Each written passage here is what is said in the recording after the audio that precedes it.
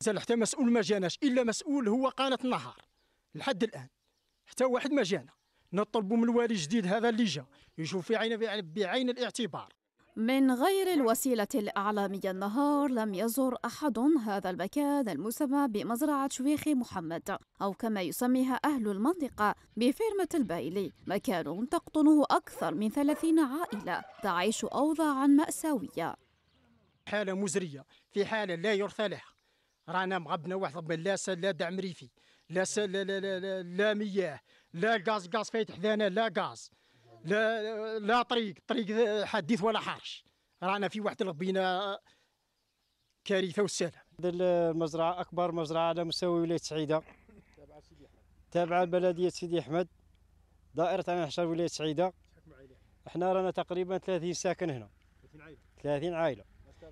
ما استفدناش من دعم الريف.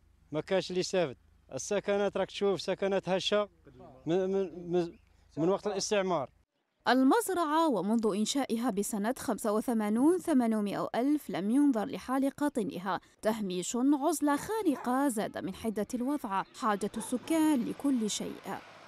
شوف راه صار لنا رانا في الدومي رانا في 2020 نسقون ما بالتراكتور بالجواريك. وسكانها راهم هنا راكم تشوفوا فيهم راهم بايطيحوا علينا. راه عندهم فايت القرنها في 1883 السكاني هذو سمعتني؟ وكاين اللي طاحت عليه الدار خرج. والغاز ما عندناش رانا نجيبوه ب 50000 60000 القرعة. وال وال والضوء الإنارات. السيريسمو ما عندناش. رانا 30 ساكن ما عندنا السيريسمو السيريسمو ما كانش. ما دايرين داير غير حفاري.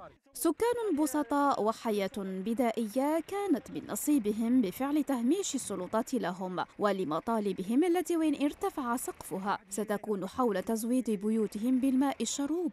وفك العزل عنهم لا أكثر.